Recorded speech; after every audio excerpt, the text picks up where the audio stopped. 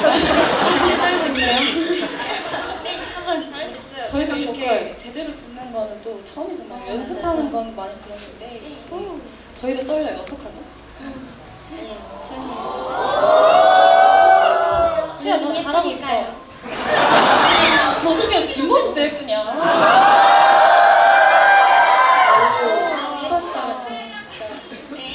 준비됐어요? 준비됐나요? 레고? 저희의 마음의 벽도, 마음의 상처도 오늘부로 모두 끝 하시라고 추언니가 부르는 끝 듣고 오겠습니다.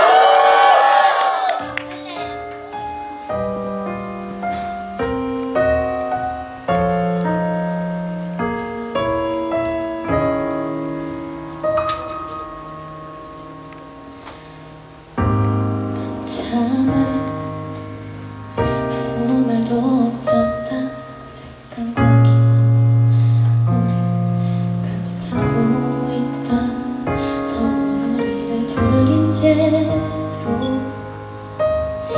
한숨만 내쉰다. 내가 처음 보는 표정을 하고 서 있다.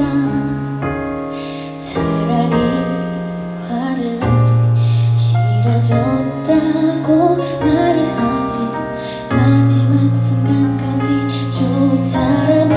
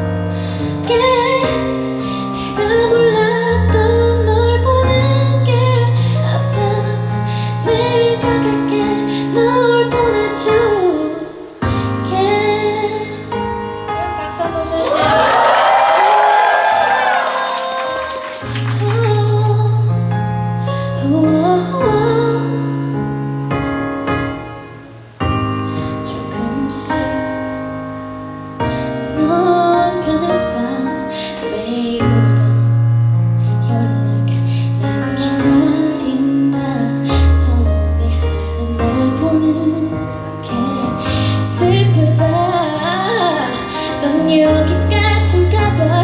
끝이 없나 봐. 난 시작이